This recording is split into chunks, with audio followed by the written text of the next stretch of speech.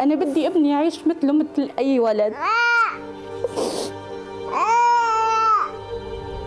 ابني علي عمره ثلاث سنين وثلاث أشهر. خلق خلقة طبيعية مريض. ما بيقشع وما عنده عصب بجسمه.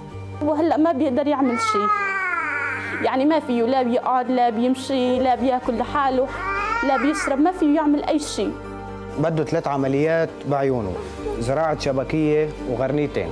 أخذته على كذا مشفى وكذا دكتور قالوا لي العملية بتكلف 80 ألف دولار. وأنا ما معي صراحة أعمل له إياها. أنا بلعبه بس هو ما بيشوف شيء ما بيقشع شيء بتمنى هيك مثل الاولاد يصير بيقوم يلعب بيقوم يركض يروح على المدرسة مثل أي ولد ثاني وأنا بتمنى من العالم إنه تعتبره مثل ابنهم بحق هالشهر الفضيل وتطلع عليه بعين الرحمة والإنسانية.